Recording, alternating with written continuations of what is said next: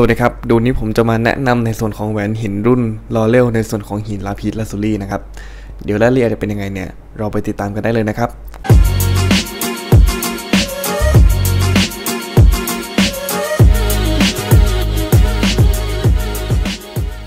สำหรับคุณลูกค้านะครับที่สั่งทำแหวนกับทางเราเนี่ยก็จะมาในรูปแบบแพคเกจจิ้งแบบนี้นะครับซึ่งเป็นแพคเกจจิ้งแบบลินชัดแล้วก็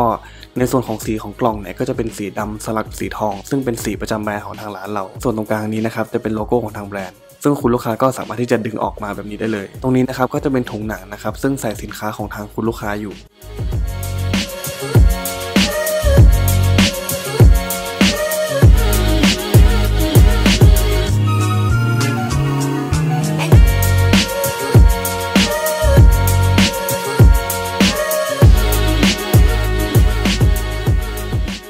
และสำหรับคุณลูกค้านะครับที่มีข้อสงสัยใดๆเพิ่มเติมเนี่ยก็สามารถที่จะทักเข้ามาปรึกษากับทางแอดมินของเราได้ตลอด 24 ชั่วโมงเลยนะครับ วันนี้ลาไปก่อน สวัสดีครับ